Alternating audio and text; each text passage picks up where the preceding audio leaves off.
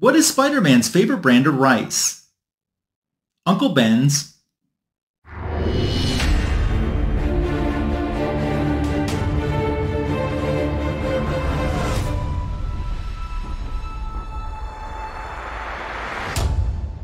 Thanks for stopping by my YouTube channel to check out Comic Book Additions Volume 159. In today's video, I have an AOK from Know Good Comics. I also have some other back issues that I've recently added into my collection to share with you, but I want to get started today with a back issue haul that I purchased from Unknown Comics. The first one up is the facsimile version of X-Men 101, and you can see this version is foiled out of its mind. I love this Dave Cockrum cover to start out with.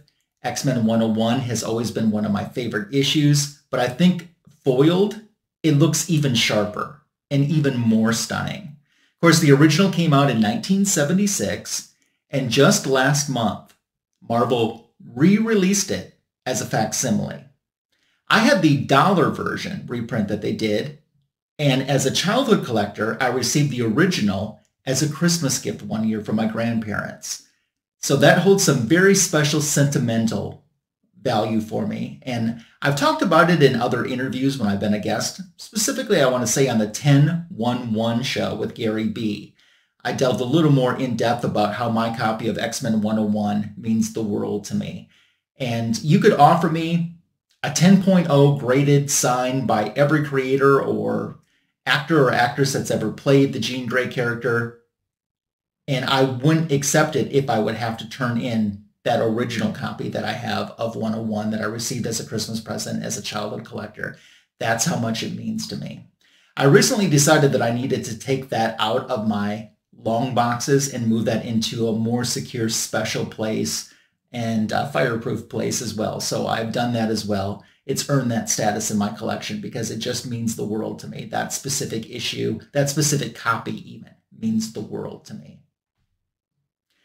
But I was very happy to see Marvel re-release this as a facsimile edition. I tend to use those more as my reader copies. And not only did they have an exclusive here with the original cover, just a foil version, they also decided to do some original covers. So this is pretty awesome. This is the Nathan Szerdy, hopefully I pronounced his name correct, uh, exclusive version with the trade dress there. We have Jean just, uh, wow, as Phoenix. You know, you might remember that X-Men 101 was the first time that Wolverine ever started flirting with or expressed a romantic interest in Jean Grey. Now, they did retroactive some of that later on, like in classic X-Men in the backstories, the, the B stories. You know, they added that he had that romantic interest or there was a flirtation between the two of them. But this was the first time ever published, was in the original X-Men 101, that that Wolverine Jean Grey flirtation kind of took place. And besides picking up the trade dress version, you might as well get the combo, right? And go for the virgin cover version of this too. This is so nice, but in person, it's even nicer. I tend to think it's not looking as great on screen as it actually looks in person. And I'm so happy that Marvel re-released these. I'm a big fan of the facsimiles, and I'm happy that I decided to pull the trigger on these as well. It's always good, even though I had the book in my collection and even had a dollar reprint version of it, to still have another copy of it too. Love it. And uh, I think Nathan Szerdy did a really good job um, staying true to the original, but still being modern at the same time with his take of, uh, you know, essentially the first appearance of Phoenix.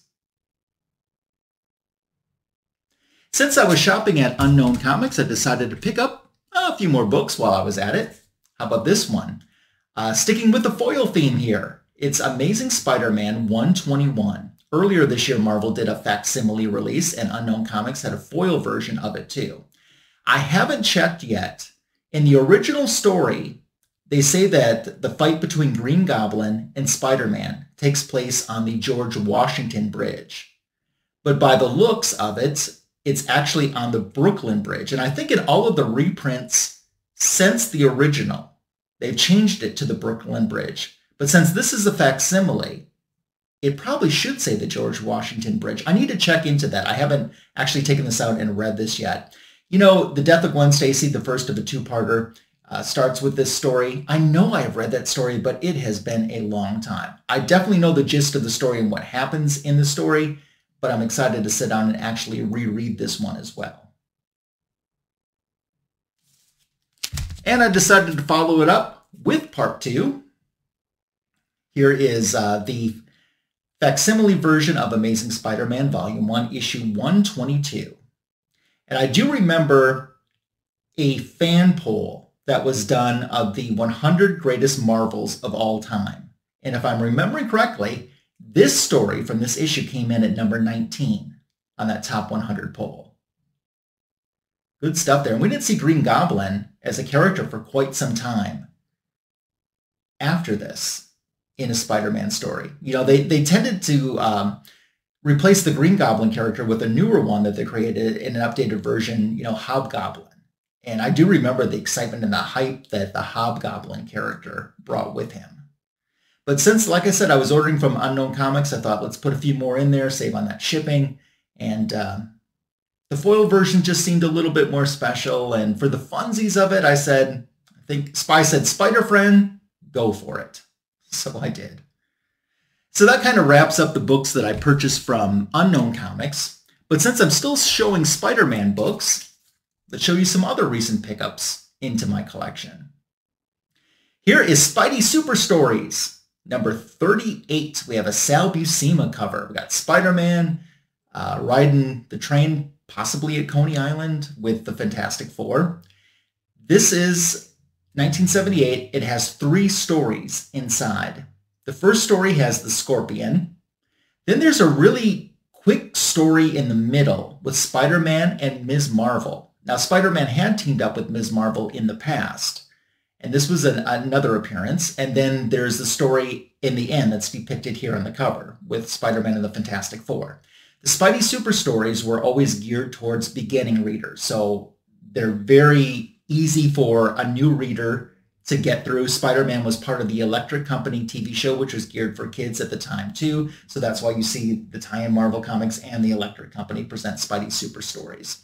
In my area, I don't know if this is a regional thing or not, and I know I've mentioned this before, but in my area, Spidey Super Story back issues are not the easiest thing to find. I hardly ever see them when I'm hunting out in the wild, and very even rarely see them at comic shows. Once in a blue moon, I might see one or two, but honestly don't see them very much. And even though they're geared towards children, and I don't think any of the stories are counted as continuity, I still think they're fun and there's some interesting team ups and there's some good artwork in these as well.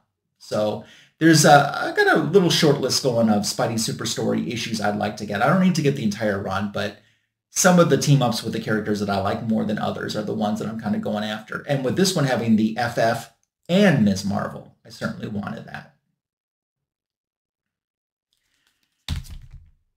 There was some Marvel for you. I know you've been so patient waiting for me to show some Marvel books on my channel. The last few weeks have been DC heavy. I'm just going to show a couple DCs for this video today. The Blue Beetle movie is out now. I have not had a chance to see it, but I'm excited to. Uh, we did a Blue Beetle themed Fanboys Live and the Retro Review this past weekend on my YouTube channel. So if you missed that, you want to catch the rewind as well. Signature King Tony Fett saw the movie, so if you want his comments and what he thought about it, you can catch the rewind on that. Uh, I'm going to show you a couple Blue Beetle comic books. So we're going back to 1986. This is Blue Beetle Volume 6, issue number 7. I realize that this is Ted Kord and not the Jamie Reyes version. I don't think I have any comics with the actual Jamie Reyes version of him as Blue Beetle. I haven't seen the movie myself yet. Uh, looking forward to doing that. If you've seen the movie and want to leave me a spoiler-free comment below, uh, make sure to do that because I'd definitely be interested in what you thought of it. Another Blue Beetle comic book is from Volume 6, the next issue, uh, number 8. Uh, the main villain in this issue is the Calculator. Um, so my Blue Beetle collection it was kind of weird. I had this two issue gap, seven and eight, that I was missing. Otherwise, I had issues one through 15 minus seven and eight. So I decided just to fill in this gap. I'm not exactly sure why I had that two issue gap. I do remember buying a lot of Blue Beetle and a lot of Blue Devil. Of course, I showed you some Blue Devil in last week's comic book additions video. I do remember buying a lot of those around the same time. You know, we're talking the mid 80s, 1986 here. Uh, Paris Cullins cover on this one and on the previous issue as well. So just decided to kind of fill in that hole. Now I have a solid 1 through 15 for volume 6. I think if I remember correctly, that only did like 24 issues, maybe 25. I don't know if I'm going to continue on and get the last 10 or if I'm happy just having this gap filled in and having a solid first 15 issues. We'll see. Now we're going to jump over to my friend Justin, Know Good Comics. He did your boy a solid here. Look what he got me. So this is a video that you have seen numerous times on my channel. I haven't been attending many comic book conventions, but this book certainly has. Uh, more recently, you saw it on my Comic Book Additions Volume 154 video, uh, where my friend Seeking Superman, Glenn, got the sign for me at HeroesCon by Michael Conrad. Well, there's some new ink on there. Uh, Justin went to Terrificon last month, and Tom King was there. So up in the upper corner in gold, we got a signed and personalized Tom King signature that I am stoked about. Thank you, Justin, for getting that done for me so much. I really do appreciate that. Of course, Tom King's going to be the new writer for Wonder Woman starting next month. They're uh, relaunching with a new volume, a new number one. So it will be Legacy issue 801, but it will be volume 6, issue 1, coming out next month. And uh, one of my goals will be to get Tom King to sign a copy of that once it's released. Unfortunately, uh, the book doesn't come out till the week after Baltimore Comic Con. Signature King Tony Fett is going to Baltimore Comic Con. I might be sending this book back to Tony to see if he can get me another signature on it too from another guest. So I'm going to get some more ink on this book, and you might be seeing this book maybe one more time this year uh, on my channel. Ultimate goal is to get it signed by as many people as I can. I'm still not even at the halfway point yet, but I'm appreciative of all the signatures that I have on it so far and all of my friends who have accomplished that for me uh, because I haven't myself obtained one single signature on this. Uh, I've been at the mercy of my friends who have been so kind in doing that for me. Speaking of Know Good Comics, man, what a channel he has and the content he puts out, whether it's recorded or live. I've left a link for his channel in the description for this video, so if you're not subbed to Justin's channel, you'll want to do that. Of course, you've heard me talk about his Omni X-Men show that he does with John's Comics with kids all the time. And I'm looking forward to the new season of that and uh, participating in that as well, too. But that's going to bring us to the end of today's Comic Book Volume 159 video. What cover was your favorite out of everything I showed? Do you own any of the comic books that I showed today? Maybe do you own an original X-Men 101? Is it on your want list? We can discuss any of this stuff. Maybe the Spider-Man keys. Uh, anything that you want to discuss, let's talk about. Do you think the foil version makes them a little more special? Something about that shiny, shiny, shiny. To me, makes it a little bit more special. It definitely makes me take a second look. But I'd love to dialogue about all of that in the comment section below. And if you're not subscribed to my channel, I certainly hope that this will be the video to make you do so. It's a great way to show support to my channel. Give me a subscription, share this video or this channel with someone else that you think might enjoy it, or subscribe. 1K is the ultimate goal. I always say I can't do this without you. It is the truth. And it's also the truth when I say I can't do this without you, nor would I want to.